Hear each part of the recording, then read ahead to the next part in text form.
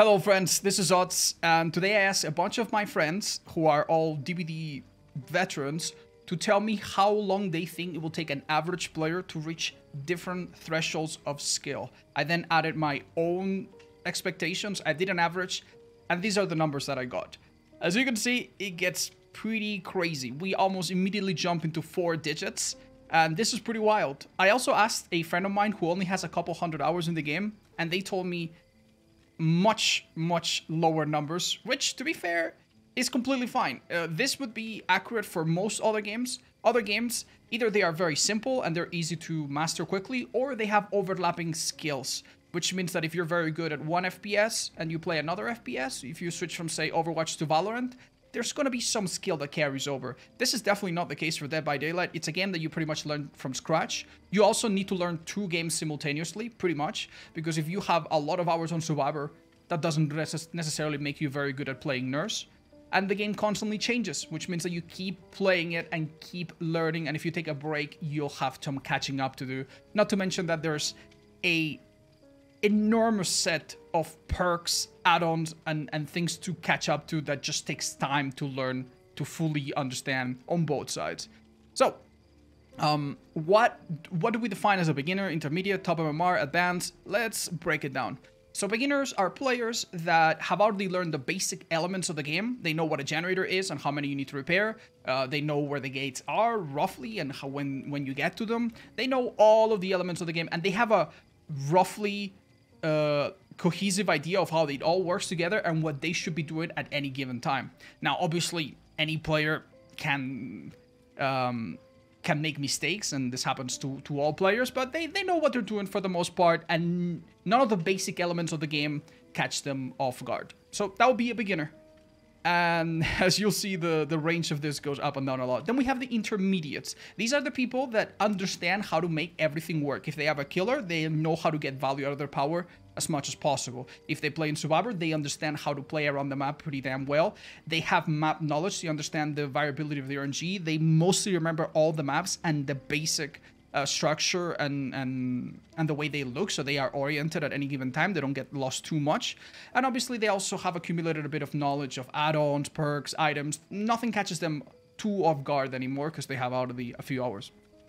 Next up we have the top mmr now in some other ultra competitive games this is something that only a small percentage of players reach. So if you played League of Legends, like getting to Diamond or Challengers, that's like 1% or 0.1% of all of all the population. But in Dead by Daylight, it's not like that. The top MMR, the highest possible matchmaking, it's a hidden number that you don't really see. It's not your rank. And, and this is extremely easy to reach. We'll get to that in a minute. And then we have the advanced. These are what I would call the players that really reach their potential. I think most people that play the game for long enough, more or less, like, reach this point where they are very good in chase, they use the resources really well, they basically know all the perks, all the items, all the add-ons, they basically know almost everything, or at least have a decent idea of it. And behind that, there's only the professional um, tier. And that's players who not only do all of this, they are extremely consistent, they are extremely good, they push the barriers of what's possible, and oftentimes they play in non-public custom matches against other good players and keep up with those players in a competitive slash tournament setting. And obviously this is the hardest. Now, uh, after doing the average of all of our answers, uh, of me and my friends, we stated that you can be a beginner at 250 hours. That is pretty wild. And the crazy part about this is that it can go up and down a lot. People that play the game very casually with other casual players and don't really make much of an effort to learn it through guides and stuff, they can be beginners for five or 600 hours. I have seen many players, and I'm sure you have too, that have a few hundred hours and still don't know very basic things about the game. So if you're very casual and you enjoy the game at your own pace, you can be a beginner for up to a thousand hours easily, which is very, very well compared to other games. Um, conversely, though, you can also um, learn much quicker. Now, some time ago, I did coaching on two new DBD players. One of them was a chess player named Anna, Anna Rudolph, and she was very eager to learn and she learned very quickly, but she was not very into video games before, so she had to learn all of the mechanical stuff. It took her a bit longer. But then our other player was Squilla, who's a very, very serious speedrunner and video gamer. And a person like this that already has experience in games and is very eager to learn, they will learn much faster than this. They can they can understand all the basic things about the game in maybe 50 hours, maybe even less if they are very serious. For both sides, it will take a little bit longer. If you really want to understand it from both sides, it will take a little bit longer. But in about 50 to 100 hours, I think someone that is very eager could learn all the basic elements of the game um, at that pace. Now, if you have a friend that coaches you, that's amazing. If not, what can you do to get through the beginner stage a little bit sooner? The first and most simple that many people dismiss, read the in-game manual. There is an in-game manual with several pages that details all of the status effects, all of the basic things, and this is something you could read in your, you know, while you're waiting for your friends to, to join in and, and do other things, you should read these manuals that are inside the game. Uh, playing with friends, as I said, is also an amazing thing. They will bridge the gap of your knowledge. They will answer your questions in real time. Oh, why did this happen? Oh, it's this perk. Oh, wait, I don't see the killer. Well, it's this add-on. Although playing with friends, not only is it fun and it squeezes the most value out of this game, um, it also helps you learn much, much quicker. I would also urge you to learn uh, the perks and, and, and add-ons that you play against. Every time you play against a lobby, don't just leave. Hover your screen uh, for a second and check out the perks that your opponent used, especially if they are perks that you've never seen before that you're not you, you're not sure what they did or you or you, they did something and you didn't quite understand it make sure that every match is a small chance to learn one more new thing about the game and slowly you will build a very big repertoire of knowledge and you'll get past the beginner stage much much faster now, if you're going to try different killers, I highly recommend you watch guides for them. I have a guide that covers almost every killer in a very basic fashion, and I'll link it in the description. Uh, to help you understand what the maps look like, I also heavily recommend that you check out guides. Perhaps the most uh, simple and comprehensive that you can watch in video form is my map tier list, which I'll also link in the description. In fact, you're going to find a lot of stuff in the description. And it would also really help you to, to improve much quicker if you know how to identify the tiles. Tiles are like little structures that are the building blocks of Dead by Daylight. They're like recurring things that always have the same shape. There's the TLs, there's the jungle gyms, there's the shack. If you know how to identify them, yes, you will still be a little bit lost in the whole map, but in each little bit of the map, you will know how to deal with it and you will deal with your chases much, much better. So that's how I would recommend that you go past the beginner phase. Next up is the intermediate phase. And this one, uh, some people thought it was much higher. Some people thought it was much lower. This is the place where survivors actually begin to showcase their potential. If they have a good map, they use it well. If they play, if you're playing a strong killer, it shows. If you um, if you're running a strong perk, you know how to use it. This is the moment where skill begins to matter a little bit less because you're already pushing a little bit on the limit and you start to really adapt to your surroundings. This is also a very, very scary moment. Uh, we'll talk about that in a second because now you start to play against other players that are much more experienced than you. We'll talk about that a bit more when we get to the top MMR, but this is this is probably the hardest moment for most DBD players, and I'm sure some of you uh, in the comments will will will have noticed this that there's a moment where you stop playing just against other beginners and you start to go against people that have been playing for six years straight and it can get really really hard. There's no rushing you getting here that's for sure. And if you play only one side you can get here very very quickly. If you play only survivor and get a little bit of help uh, you can get here much quicker than a thousand hours. If you only play uh, basic killers. It will take you a bit, but you'll get faster. If you specialize in only one killer, especially if it's a killer that's very unique, let's say you only play nurse, you could be at this level in only a few hundred hours, but that will obviously hurt you when you play the other killers, and it, it's not going to make you a very well-rounded player, but you could take some shortcuts to get here. Now, how do you get here in a more holistic, round, well-rounded manner? Uh, at this point, you need to know the maps really well every time you see the map name, you need to have a mental picture of what it looks like. If that is difficult, please look out for map picture uh, diagrams or watch my map tier list that I linked earlier that's in the description, which has pictures of what each map looks like so that you know where you are and you can start to call out things and understand how spawns and everything else works. Now, at, at this point, you also not only need to know the tiles, you need to identify them very quickly. If you run towards a structure, you need to at a glance be able to tell if that's a jungle gym, if it's not, and, and what it is and how to run it. So get some practice on that. At this point, almost every perk in the game should at least ring a bell. You should know all of them. Uh, some of the rare ones, obviously, you're not going to see very often, but all the important perks, you should know them perfectly. And every time you play against a killer, you should know which add-ons to look out for if there's any dangerous ones. If you do play killer yourself, you need to know which add-ons you should be running.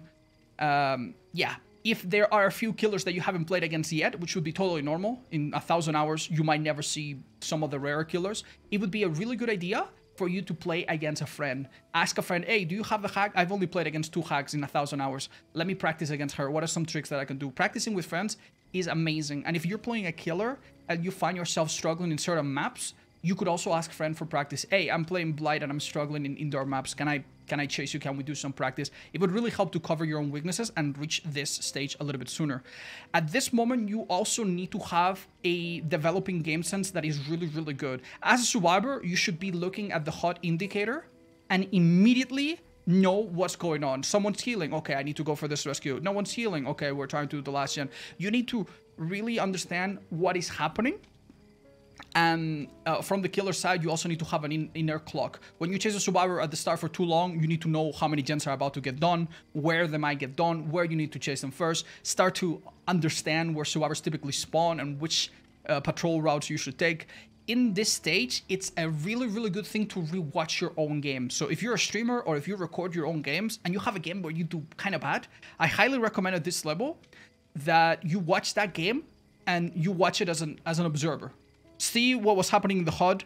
Did you miss something? Maybe there's uh, some indicator that told you that you should have been doing this or not been here. As a killer, did you miss some scratch marks? Did you miss something that you could have tracked to find someone sooner? Did you make a mistake? If you play against streamers, you can watch from their point of view and understand how they perceive you and what are some of the things that you do that work and that don't.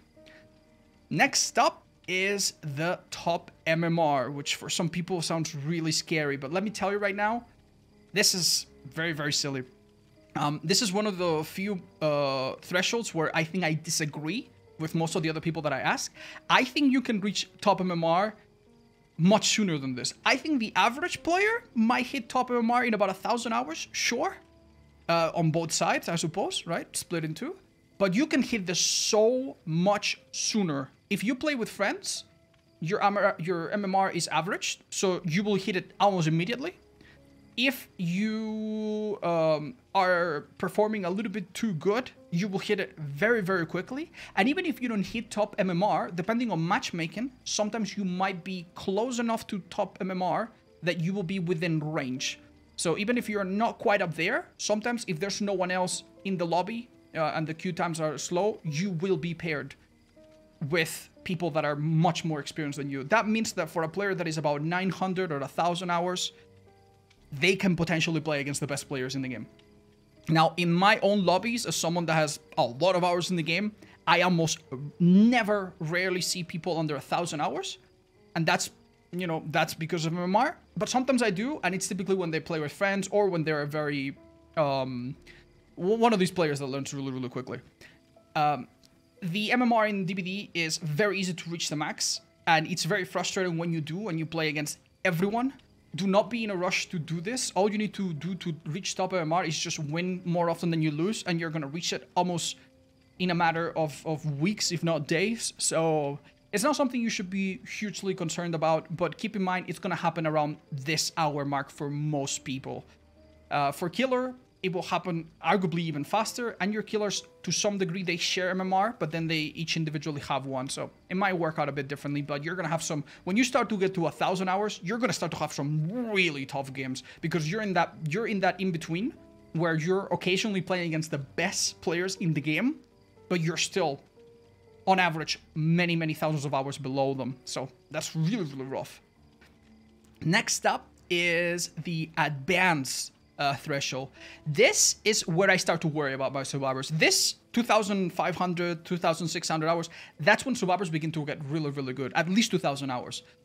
I, if I, if I go into a lobby and someone told me the survivors that you play against have this many hours, then I'd start to get worried that, yeah, I'm probably gonna, you know, I might have a tougher game. I might start to lose uh, if I don't play very good. If they have less than this, many times you are a massive advantage if you have a lot of hours yourself. So at this threshold of hours, the average survivor starts to reach their maximum potential. They get as good as they'll ever get. And these people are very solid in chase. They, if they play a killer that's strong, you're gonna feel it 100%. If they get a map that's good as a survivor, they're gonna use it extremely, extremely well. And obviously, at this point, their knowledge of the game is almost perfect. Their communication and understanding and, and game sense is almost perfect, and it gets really, it gets difficult to keep up with. What are some of the things that you could do to reach this level faster without necessarily having 2,000 hours plus in the game? At this point, 100%, I recommend that you 1v1 with friends. Get a friend who's learning, or who's better than you, or who's worse than you, and you can help them, and play with them. And if you play against streamers, against again, watch them. This is going to give you live feedback of what you're doing wrong. If you have any mistake, any place that you get stuck in, any any loop where you don't wait at the perfect place, you will benefit a lot from someone telling you. This is also a time when you should be perfectly familiar with check spots and other guides on how to run tiles. I'm going to link, let me write that down. I'm going to link um, a video below by a fantastic player that explains all the places where you need to wait and check and chase to make the chase as tight as possible as a killer and, as a survivor. So your, your chases at this point should be really, really solid. If you play killer, you should have a fantastic uh, grasp on each killer's. If you if, if you specialize in one killer, let's say you play nurse, you should have a fantastic grasp on their cooldowns, on how far they can make it, on which maps uh, are best for them, and so on. And if you play a bit of everything, you're more of a generic killer. You're probably not going to be the best at any one of them, but you will have a very decent uh, knowledge of general killer um, M1 M1 killer, basic killer gameplay. So that's great. At this point, if you're a survivor, you should have amazing callouts. You probably will start to divide the map in chunk and understand each part of the map really, really well. And, and you're going to give information real time very, very accurately. And if you're the killer, you're also going to have an amazing game sense. You, at any given time, even if you don't see survivors, you will understand that, okay, this guy is healthy, so he's going to be the one coming for the rescue. This guy is injured and dead on hook. Okay, he's probably going to be hiding. Where would he be hiding? Well, I saw a bird fly up there, so that could be him. And I see blood and no one else is injured, so this is probably him. You're going to try to, you're going to put all of the cues that the game throws at you together to make sense of what the other side is doing. And because the other side is starting to get better and more consistent, you're going to very accurately guess what they're going to do. Okay, the killer is, uh, he's only got a 3 gen, and this person's on hook. He's gonna, he's gonna try to tunnel that person and then defend the 3 gen. Okay, the survivors, you're gonna develop this uh, game sense that we call of understanding what is the predictable thing that the other side will end up doing. Uh, you will also get a good internal clock for both sides. You will know that committing to this chase is going to be fine because I'm pretty sure I can end it and still have time before they open the gates, or I'm committing to this gen is a bad idea because I know 100% of the killer is going to be here before I can finish it. So you're going to develop a really good internal clock that lets you know when you should continue or stop doing certain things. Uh, I think most players are happy to be here. Some players will reach this level at four or 5,000 hours when they're very casual. Some players will reach this much quicker if they are very, very keen on getting better. And for most players, you know, uh, anything after this, you're not really getting that much better. But there is another step that you can choose to go on to if that tickles your fancy. And that is the professional level. What do we mean by professional? These are people that play in tournaments, that play against other players who are never randoms, who are never solo players, who are never clueless uh, beginners, who are never people doing archives. These are, you're going to be playing against people who are very serious about the game, often have on average six or 7,000 hours, and who have been playing for a long time and want to do their absolute best to beat you. So this would be playing tournaments, playing scrimmages, playing competitive, maybe playing public matches against players that are insane. Like, how do you reach this level? Most people seem to agree that you need close to 4,000 hours to get here, and that must be extremely discouraging if you wanted to do that with only a few hundred hours. How do you even get 4,000 hours in a game? Honestly, just reading it out loud now, it, it's ridiculous. It's absolutely ridiculous, but it's true. I've seen players, and we did a showcase recently. I've seen players that have 2,500 hours, and they get absolutely, you know, um, frozen, demolished by other players. You know, I've seen survivors that have a lot of hours. I've seen killers that have a lot of hours. and all of that knowledge means nothing when the other side has twice that many hours and they know how to play in a very serious manner. So the first thing I would advise is to leave your ego at the door. If you do very well in public matches or you think you're very good, you're probably going to be humbled when you play against a really, really good team or a really, really good comp killer. They're going to destroy you and that's okay. You will also need to stop letting, uh, stop using certain uh, comfort comfort perks and, and crutches and get used to some restrictions. Many people that play in tournaments, they cannot use all the add-ons on their killers. They cannot use all the perks. That There's typically bans. Survivors cannot use all the items. So you're going to have to really rely on teamwork, on basic perks, and, and sometimes play around certain rules. Um, if you want to get to that level and practice um, in, in, in competitive, I recommend that you join some kind of Discord community where people hang out and people look for teams and people look for scrimmages. I'm going to link one in the description from the Champions of the Fog folks. They're, they're a real nice community and they have channels where you can look for teams.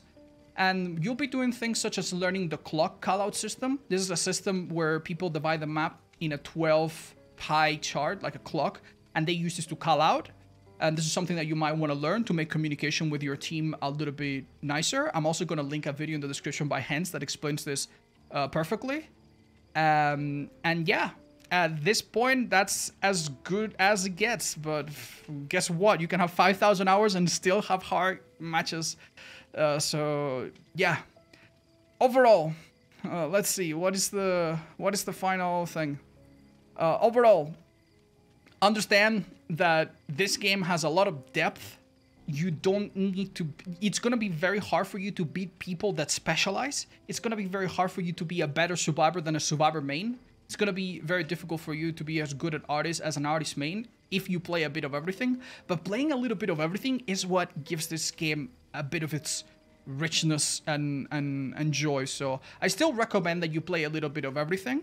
Uh, playing Survivor still makes you a better killer. It's the same way that you go to the gym and train legs, even though maybe you just want your arms to be bigger. It still makes you a more... It gives your physique a more consistent look. Well, playing both sides and doing a little bit of everything definitely makes you a more rounded player, and it's a lot more fun in the long run. So, if you have any questions, please let me know. And if you're interested in any of the resources that I talked about, check them. They will be all listed in the description. Uh, thanks so much, and please don't lose your mind playing Dead by Daylight. Bye-bye.